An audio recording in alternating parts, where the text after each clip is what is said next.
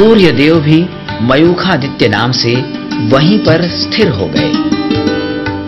काशी के बारह आदित्यों में मयूखादित्यों का प्रमुख स्थान है।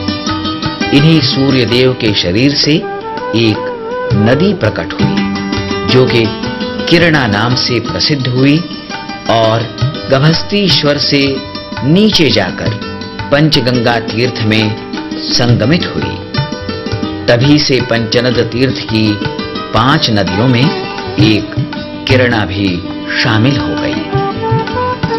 माँ मंगला गौरी भी पूर्वाभिमुखा होकर वहीं विराजमान हो गई। इनका एक अन्य नाम ललित कांता देवी भी है। सौभाग्यवती तथा कुमारिका दोनों ही स्त्रियों के लिए मंगला माता का अनुग्रह या कृपा प्रसाद अत्यंत अनिवार्य है। बिना मंगल कृपा के कुछ भी संभव नहीं।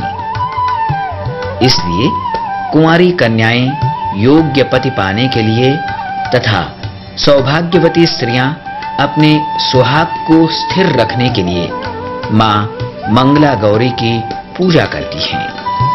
प्रत्येक मंगलवार के दिन देवी की पूजा करने का विशेष महत्व है। स्वयं माता सीता ने भगवान श्री राम को पति के रूप में प्राप्त करने के लिए माँ मंगला गौरी का व्रत किया था। श्री कृष्ण की पटरानी रुक्मिणी ने भी इसी मंगला देवी की कृपा से भगवान श्री कृष्ण को पाया था। स्वयं माँ पार्वती ने शिव जी को पति रूप में पाने के लिए माँ मंगला गौरी का व्रत किया था।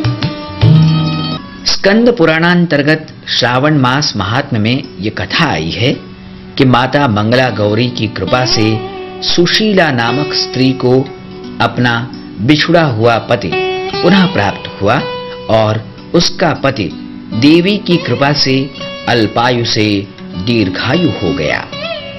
मंगल, चंडिका, सर्वमंगला, नारायणी आदि अनेक नामों से ये देवी विख्यात हैं।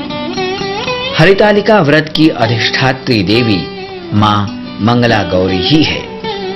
विवाह के पूर्व या बाद में स्त्री पुरुषों के मंगल दोषों का निवारण देवी मंगला की मंगल कृपा के बिना संभव नहीं।